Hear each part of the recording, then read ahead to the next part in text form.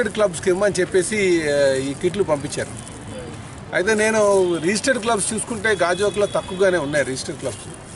Plus అందరూ కూడా ఒక ప్లేస్ లేదు ఎక్కడో క్లబ్ పెట్టుకున్నారు తప్ప ఎక్కడున్నారు అనేది కూడా మనకు తెలిసే పరిస్థితి లేదు.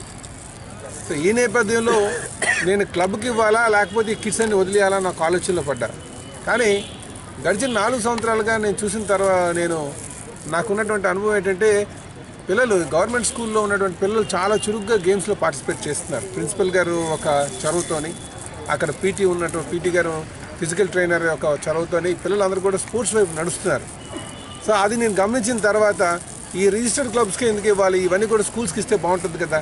పిల్లల్లో ఆడుకోవడానికి అలాగే క్రీడల పట్ల నడిపించడానికి ఆస్కారం ఉంటుందని చెప్పేసి ఇవన్నీ గవర్నమెంట్ స్కూల్స్కి ఇవ్వడానికి నిర్ణయించుకున్నాను.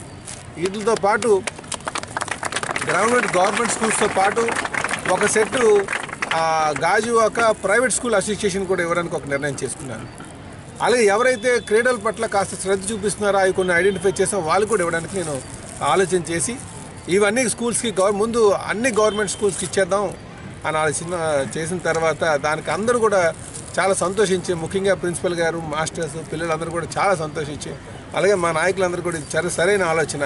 ఈ ఆలోచనతో మనం ముందుకు వెళ్దాం.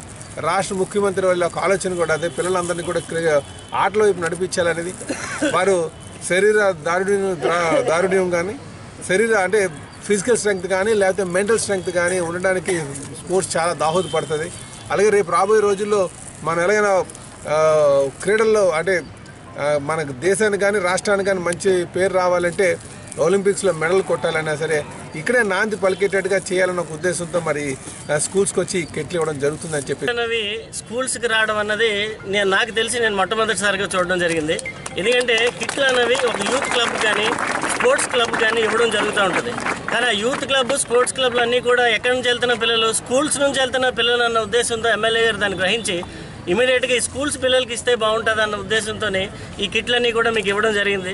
నా రిక్వెస్ట్ ఏంటంటే ఇచ్చిన కిట్లన్నీ దయచేసి మీరు జాగ్రత్తగా ఉపయోగించుకుని ఎవరైతే మనకి ఎన్ని స్పాన్సర్ చేస్తున్నారు దేని గురించి స్పాన్సర్ చేస్తున్నారు మీలో ఉన్న స్పోర్ట్స్మెన్షిప్ను బయటకు తీసుకురావడానికని మీకు ఇవన్నీ జరగడం జరిగింది. ఇవన్నీ మనం కొనుక్కోవాలంటే దీనికి చాలా ఖర్చు పెట్టవలసి వస్తుంది.